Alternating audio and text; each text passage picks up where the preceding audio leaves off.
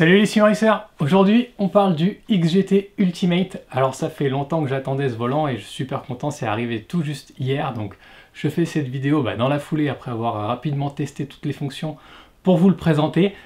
Vous aviez déjà vu sur la chaîne le test du XGT. C'est tout simplement son grand frère avec la même qualité Léo XZ qu'on connaît. Et ce volant je l'attendais parce qu'il est annoncé au prix de 679 euros TTC sur la boutique thefrenchimracer.com et je trouve qu'à ce prix-là, ça commence à changer euh, pas mal de choses parce que ça rend ce genre de volant euh, de plus en plus accessible. Alors oui, je suis d'accord, ça reste un budget très conséquent, ça dépend du portefeuille de chacun, mais il faut se rappeler qu'il y a 3, 4 ans, 5 ans dans le sim racing, ce genre de volant, soit ça n'existait pas, soit c'était fabriqué par des toutes petites marques et on avait des prix complètement délirants, bah, plus de 1500 euros, donc c'était pas du tout pour tout le monde. De plus en plus, ce qu'on voit, c'est que les prix ils baissent, ils baissent, ils baissent et la qualité elle reste au rendez-vous. Et là, c'est vraiment une très bonne surprise. Hein. Je vous casse le suspense euh, tout de suite. Ce volant Léo XZ pour 679 euros avec la qualité qui sont sortis, les fonctionnalités et surtout les compatibilités. Je trouve ça vraiment bien parce que ça met un grand coup de balai sur euh, pas mal de modèles aussi. Et euh, bah, c'est vrai que la concurrence, du coup, elle est de plus en plus féroce, en tout cas euh, chez les entre les fabricants. Et c'est que le début et c'est que pour notre plaisir parce qu'au final, plus les fabricants bah, se donnent du mal à sortir des produits à des prix abordables avec de la qualité et des produits bah, que nous on attend qualitatifs, c'est vraiment une bonne nouvelle. Sur cette vidéo, je vais pas revenir sur le côté hardware j'avais fait le test du XGT, c'est le même volant, d'accord? C'est le même, c'est la même qualité, on est sur la même chose. Ce qui va changer, c'est le nombre d'encodeurs en façade et l'écran qui est euh, ajouté avec le système de LED. Ce qui va être intéressant, ça va être surtout de parler des compatibilités, du kit sans fil, parce que oui, ce volant, c'est possible de le faire fonctionner sans fil sur les bases Fanatec, Moza, SimMagic. Et ça, c'est vraiment top, surtout qu'il propose pour les utilisateurs Fanatec un QR2 ou un QR1 directement monté sur le volant qui émule un volant Fanatec, donc qui permet de faire fonctionner le FFB sur votre base Fanatec. Vous savez que chez Fanatec, si vous ne mettez pas un volant officiel, le FFB de votre base ne fonctionne pas. Là, il y a déjà l'émulateur qui est fourni avec dans le volant, émulateur comme on propose sur la boutique avec euh, SRM mais là c'est déjà tout dedans, donc c'est incroyable ce qu'a proposé euh, Léo XZ pour ça. Et si vous êtes sur d'autres bases où vous ne souhaitez pas utiliser le kit sans fil, bien évidemment le volant il fonctionne en cordon USB de manière classique. Par exemple sur mon Simucube 2, je serais obligé d'utiliser la version USB. Personnellement, moi ça m'a jamais dérangé d'utiliser des câbles parce qu'avec ma rallonge, j'arrive toujours à passer le câble correctement et je peux jouer euh, sans que ça me pose problème. Mais, mais je sais qu'il y a beaucoup de joueurs qui n'aime pas avoir ce genre de câble, surtout si vous n'avez pas de rallonge ou si vous n'avez pas la configuration qui permet de passer le câble correctement, et eh bien le sans fil c'est toujours un petit plus, et là ce qui est top c'est que ça marche super bien. Donc on va regarder tout ça en détail, c'est parti. Je vous fais quand même un petit tour du volant, donc là j'ai sorti une version 6 palettes avec le QR de Fanatec directement monté dessus, donc c'est dispo soit en 4 palettes, soit en 6 palettes, donc on a les palettes optionnelles ici. La chose que j'avais dite dans le test du XGT précédemment, le seul point négatif que j'avais trouvé un petit peu sur le hardware, c'était bon, ces encodeurs euh, qui sont ces capuchons d'encodeurs en plastique, mais à ce prix-là, clairement, euh, on s'en fiche en fait. Et c'était surtout un truc qui m'avait un petit peu plus dérangé, c'était la position des shifters. Donc on avait des shifters qui étaient un petit peu près des poignets, et là, les bonnes nouvelles, les EXZ, ils ont écouté la communauté, ils ont sorti un petit kit avec des spacers, c'est des petites entretoises en aluminium qui vont pouvoir venir décaler le shifter de 5 mm vers l'arrière. J'ai testé tout à l'heure, alors là je les ai enlevés, j'aurais dû les laisser pour vous montrer, mais ça permet, bah, de, ça, ça gomme tout simplement le problème. Donc Léo XZ a été à l'écoute, ils ont proposé la solution sur ce XGT, et du coup bah, on se retrouve avec un volant qui pour moi, il bah, n'y a pas de reproche. Plaque carbone 5 mm, poignée moulée, un écran Vocor, les encodeurs, toutes les fonctions de joystick, c'est tout ce qu'on a besoin sur un volant de sim racing. Les six palettes, palette magnétique, capteur FEOL, dual clutch. clairement, je vois pas vraiment ce qu'on peut demander de plus, surtout pour 679 euros. Bon, et c'est là qu'il va falloir être un petit peu concentré pour pas que je vous perde, parce que je vais essayer de vous expliquer donc les différentes euh, configurations du volant. Donc déjà, si vous l'achetez sans QR, vous êtes par exemple sur Simucube, vous achetez un volant sans QR, vous montez votre QR Simucube et vous utilisez votre volant avec le cordon USB. Si vous êtes sur Simagic ou Moza, vous pouvez faire la même chose. Vous avez un QR chez vous, vous réceptionnez le volant, vous montez le QR et vous l'utilisez avec le cordon USB. Mais si vous voulez profiter de ce kit wireless, donc c'est une petite platine qui vient se monter à l'arrière du volant, je vous la mettrai tout à l'heure, et ce récepteur qui vient se connecter à la carte mère du PC qui va recevoir le signal du volant pour permettre de faire fonctionner les boutons, l'écran et le RGB. Et eh bien si vous voulez faire ça, il va falloir que votre volant soit quand même alimenté par quelque part, parce que si vous n'utilisez pas le cordon USB, il faut que l'alimentation vienne du Quick Release. Chez Moza, chez Simagic et chez Fanatec, on a une alimentation qui passe par le Quick Release, et donc Léo XZ propose une version directement Moza, Simagic et Fanatec qui permet le QR monté de alimenter le volant et de faire passer le signal par le kit sans fil pour faire fonctionner le volant sur n'importe de ces trois bases. Dans ce QR2, on peut voir qu'au bout, on a les pins Fanatec et cet émulateur, eh ben, il va permettre de faire croire à votre base que c'est un vrai volant Fanatec.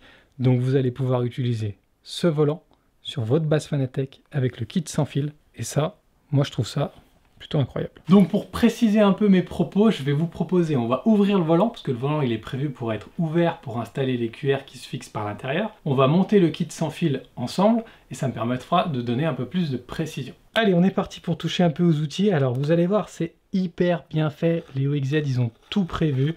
Le volant, il est prévu pour être démonté. Bien évidemment, quand vous le démontez, prenez votre temps, Posez-vous dans un endroit tranquille pour ne rien abîmer, parce que si jamais vous abîmez une vis ou que vous rayez quelque chose pendant le démontage, eh bien c'est dommage, c'est pour vous. Donc on retire les quatre grosses vis qui sont en façade. On va aussi avoir des petites vis ici sur les côtés. Normalement, en tout cas sur celui-là que j'ai démonté, les vis n'étaient pas énormément serrées, donc il n'y a pas trop de risque de foirer les vis, mais faites attention. Une fois que j'ai retiré mes vis de façade, je retourne le volant et ici, j'ai le petit capuchon à l'endroit où est censé se mettre le kit sans fil. Donc, idem. Ici, on va retirer les deux petites vis. Et on enlève le petit capot. À ce moment-là, vous allez voir, c'est magique. Le volant, il s'ouvre. On n'a rien à faire de plus. Alors, si vous achetez un volant sans QR, ben, il n'y a rien qui est branché dedans. Moi, je vais le débrancher ici. Voilà, fin de l'histoire. Faites attention au PCB, mais vous avez vu, c'est conçu pour être démonté. Pourquoi? Parce que sur cette platine arrière, si vous voulez monter votre QR, par exemple, SimMagic, eh bien, il faudra le visser par l'intérieur. Donc, il faudra passer les vis par ici. Donc, vous mettez votre QR, vous mettez les vis. Faites attention que les têtes de vis ne dépassent pas trop pour ne pas venir toucher la carte électronique dans le volant. Vous refermez et vous allez rouler. Ce qu'on peut voir sur la PCB, c'est qu'ici on a le connecteur qui permet de brancher le QR Fanatec. Donc ça, c'est pour le QR Fanatec de chez Léo XZ qui se vend aussi hein, séparément. Si jamais vous trouvez un Léo XZ par exemple d'occasion, vous aurez juste à racheter le QR pour votre Fanatec. Ici, on va avoir une prise pour tout ce qui va être Moza et Simagic. Et ici, on a une sortie USB. Cette sortie USB, alors il n'y a rien qui est conçu à ce jour par euh, Léo XZ, mais par exemple pour moi ça pourrait être une alternative pour euh, Azetec. C'est-à-dire que si on arrive à faire sortir l'USB ici et à venir se brancher sur le QR rallonge de Azetec, ça permettrait de faire fonctionner le volant également sur le QR Azetec. Pour les utilisateurs Simagic, j'avais parlé dans la vidéo test du XGT, d'ailleurs j'avais eu plein de questions parce que c'était un peu technique ce que j'avais présenté. donc je me répète, en gros quand vous aviez un QR SimMagic, d'origine vous avez ce câble dans votre QR, mais ce câble ne se branche pas sur la PCB Leo XZ. Donc désormais, plutôt que de faire le bricolage que je présentais dans la première vidéo, le câble il est dispo en boutique maintenant.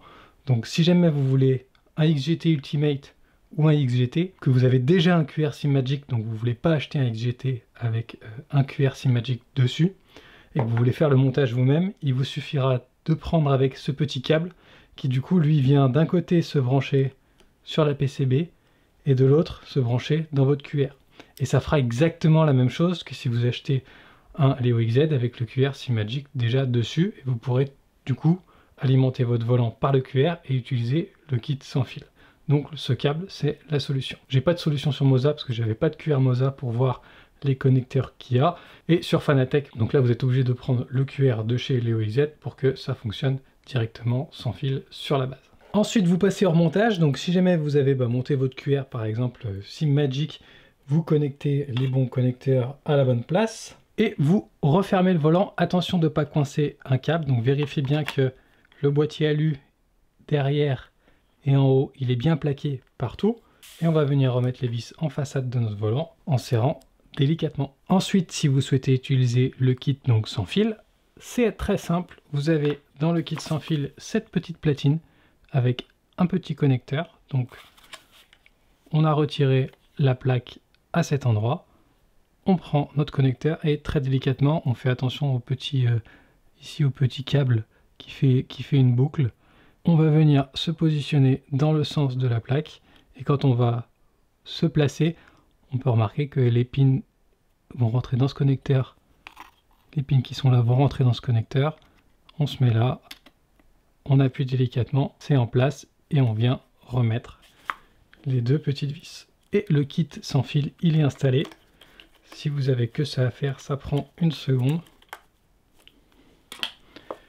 Et c'est prêt, vous avez monté votre QR, votre kit sans fil. On est prêt à l'installer sur le PC. Franchement, c'est incroyable, proposer un volant qui se démonte aussi facilement, monter le QR qu'on a envie, permettre euh, à l'utilisateur de brancher son QR ou pas, d'avoir plusieurs connectiques sur la PCB. Moi je trouve que les OIZ là ils ont fait un step qui permet vraiment une personnalisation et une utilisation vachement personnelle du volant en fonction de tous les types de bases, ce qui n'est pas forcément facile à faire pour s'adapter sur le marché. Tout ce que je vais vous expliquer sur l'installation, c'est marqué dans le manuel. Donc je sais qu'il y en a les manuels en anglais, ils ont un petit peu de mal. Vous pouvez toujours utiliser les traducteurs mais je vous montre comment on va utiliser donc SimBridge. On va voir comment ça marche dans SimHub, comment, faire, comment connecter son volant euh, sans fil pour la version sans fil. Et ce que je voulais simplement euh, préciser, c'est que donc effectivement sur le 4 palettes sans QR, on est à 679 euros. Vous avez vu que les QR1, alors on a deux versions aujourd'hui qui sont pas dispo en boutique parce qu'on n'était pas sûr de la demande. Donc si jamais vous voulez ces versions-là, on aura certainement des commandes qui se feront euh, plus tard, mais avant Noël. Donc n'hésitez pas à nous remonter ou à vous inscrire ici, envoyez-moi un email quand ce sera dispo. Ça nous permet de savoir un petit peu la demande et du coup de commander du stock en fonction. Donc The French Impressor est distributeur Léo XZ France et c'est nous qui gérons le SAV. Donc s'il y a un souci, vous traitez directement avec nous et ça c'est un gros plus parce que vous savez que c'est une entreprise qui est basée en Chine. Donc bah, quand on achète en Chine, je comprends, c'est toujours un peu inquiétant avec le SAV et là ça fait une vraie différence. Donc vous allez sur le site de Léo XZ dans support download. Ici vous avez déjà bah, le manuel du volant si vous voulez. Et là il y, avait, il y a tout le manuel qui, explique tout. Donc ce que je vais vous montrer un petit peu en vidéo. On télécharge ici SimBridge V1.8. Une fois que c'est téléchargé, on arrive, on a deux fichiers à mettre dans le répertoire. On copie-colle directement dans le répertoire de SimHub. Hop, on colle ici et vous avez SimBridge qui est installé. Ensuite, on lance SimHub. Alors quand c'est la première fois, il vous propose de mettre le plugin dans le menu de gauche, donc faites-le. Et ici, on arrive dans le plugin. Donc moi, j'ai viré les autres volants parce que là, je teste que le Ultimate.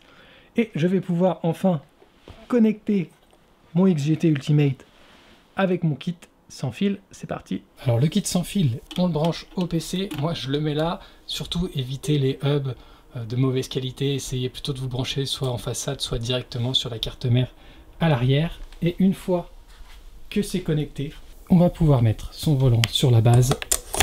On connecte le volant et il s'initialise. Pour faire l'appairage, c'est super simple. On reste appuyé sur l'encodeur du centre. Ici, on est déjà en mode wireless, donc sinon vous changez. Donc si vous êtes par exemple en USB, on va se mettre sur le mode USB. En wireless, pour faire la connexion et en mode Fanatec. J'en parle pas, mais c'est incroyable ce volant en mode Fanatec. Ça marche sur une PS5. J'ai pas de console. Les consoles, c'est pas mon délire. Mais vous regardez la vidéo de présentation euh, de chez XZ, ça marche. Donc j'attends des retours de la communauté pour me dire ce qu'ils en pensent et comment ça fonctionne sur console. Donc nous on va se remettre en wireless. Là normalement on appuie en bas pour s'appairer. Là il est déjà appairé donc ça va rien faire. Ici, on peut voir qu'on a des valeurs. C'est les valeurs du signal de connexion. Et regardez bien, dans le manuel utilisateur, il donne quand même quelques préconisations pour l'utilisation du mode sans fil, à savoir que c'est un signal 2,4G Wi-Fi. C'est identique à certains Wi-Fi de la maison. Il est préférable de passer son Wi-Fi sur du 5, donc en général maintenant c'est tout comme ça, donc il n'y a pas besoin. Et puis sur certaines bases, euh, on peut devoir réduire un petit peu l'intensité d'éclairage parce que les bases ne fournissent pas assez de puissance directement. Donc ça, vous refaites un petit tour dans le manuel, c'est marqué et euh, vous verrez qu'il y a quand même des petites choses à faire attention pour ne pas avoir de perte de signal. Mais en tout cas, on est à des latences inférieures à 1 milliseconde, donc il n'y a aucun souci niveau latence. Et donc une fois que votre volant il est appairé, on peut enfin s'en servir. Donc ce petit menu ici qui permet de régler bah, aussi des petits réglages. Donc là, il y a un peu de software dans le volant. Ça, c'est des choses que j'apprécie aussi. C'est ce que je reprochais un petit peu au SimDid dans la vidéo précédente. Là, on a du software. On peut régler, euh, par exemple, le rétroéclairage de l'écran depuis le volant. On peut avoir plusieurs modes pour la configuration du dual clutch. Et on peut avoir des modes qui sont enregistrés jusqu'à 8. Donc ça permet d'avoir 8 settings différents. On peut avoir un mode axe où chaque euh, palette est séparée et un mode dual clutch. Donc on va pouvoir régler un pourcentage par côté de palette. Ensuite, on a un mode standby, donc le volant va automatiquement s'éteindre par exemple au bout de deux minutes. Donc ça c'est sympa si vous êtes le soir en train de, de, chiller devant le PC, vous jouez, vous arrêtez, etc. Vous avez euh, ici la possibilité de changer la fréquence, enfin la, manière dont répondent les encodeurs. Donc ça c'est pareil, ça peut aussi être réglable en fonction des jeux, c'est vraiment top. Ensuite on a des options qui sont floutées parce qu'on est en Wi-Fi, on est sans fil et c'est des options qui ne sont pas forcément accessibles euh, depuis la version euh, sans fil, donc il faut être connecté en USB pour y avoir, comme par exemple euh, le rétroéclairage des LED et des boutons. Une fois que ça s'est configuré, eh ben, on est dans SimHub, et ici, ben, vous voyez, on peut configurer ces boutons ça marche sans fil, c'est complètement incroyable. Enfin, moi, je, suis complètement fan. Euh, on peut changer ses dashs, donc là vous chargez les dashs que vous voulez. Alors sur ce PC, j'ai pas trop de dashs, mais euh, vous pouvez bien évidemment mettre tous les dashs que vous voulez comme sur un Vocor. J'ai roulé tout à l'heure quelques tours, il n'y a aucune latence. Vous avez ici l'info sur les numéros de boutons pour vous faire des presets. Donc ça, retournez voir aussi euh, la première vidéo que j'avais faite sur le XGT où je montrais un petit peu plus en détail tout ce qu'il était possible de faire au niveau de la config des boutons, euh, la télémétrie qu'on peut envoyer en info au niveau des boutons, etc. C'est vraiment, c'est vraiment, vraiment sympa. Alors j'ai pas été plus loin que ça, savoir si quand on était en mode sans fil, on avait quand même certaines restrictions. C'est possible parce que euh, bien évidemment, le, par exemple, j'ai l'impression qu'on ne peut pas régler euh, la puissance de rétroéclairage des LED et des LED RPM, mais ça permet quand même d'avoir accès à toutes les fonctions et surtout la plus importante, celle du dash, parce que c'est ça qui va permettre de, donner accès à tout un tas de réglages. Donc là, vous voyez, je suis sur mes LED et je peux avoir eh ben, tout qui fonctionne comme si j'étais connecté en USB. C'est vraiment top. Enfin, moi, je suis super fan. Euh, donc la seule restriction que j'ai trouvée aujourd'hui, c'est la puissance de rétroéclairage des boutons et des LED qui sont pas accessibles quand on n'est pas en USB. Le reste, j'ai pas vu de différence. Pour revenir juste un petit peu sur les fonctions supplémentaires, donc ici, je vais aller dans le manuel. Il parle également du Fanatec Mode, donc là qui sera sur console. Alors j'ai pas la possibilité de tester comme je vous l'ai dit, mais un volant compatible console sur base Fanatec, incroyable. Faites un retour, commentaire ou autre, euh, en tout cas les premiers avis que j'ai pu voir de la communauté sur euh, le volant qui était déjà commercialisé en Asie, ça a l'air de fonctionner et ça a l'air pas mal. Voilà, pour moi cette review elle était assez rapide puisqu'elle vient vraiment en complément du test que j'avais fait sur le XGT où je rentrais un peu plus en détail sur les OXZ et sur le côté hardware. Mais vu qu'on a la même chose ici avec simplement en nouveauté l'écran, les LED et le mode sans fil qui permet de faire fonctionner cet écran et ces LED, les compatibilités sur les bases, bah, j'espère que ça a été clair ce que je vous ai dit. Sinon, n'hésitez pas à poser les questions en commentaire ou à contacter sur la boutique, euh, sur le mail de la boutique thefrenchimracer.com. J'espère que j'ai répondu à toutes vos questions sur ce petit volant qui, moi, m'a en tout cas vraiment bien enthousiasmé parce que je suis content qu'il y ait des volants qui arrivent à ce prix-là sur le marché, qu'il y ait des fabricants qui comprennent euh, les complexités d'avoir de satisfaire tout le monde en fonction de la base et du matériel qu'on utilise. Gros point positif, pour moi c'est un sans faute. En tout cas, j'ai pas trouvé de point négatif au prix auquel est proposé le volant. Et je suis sûr que tout le monde va devoir commencer à s'aligner avec ce genre de standard. Voilà, on se retrouve dans une prochaine vidéo, je vous dis ciao ciao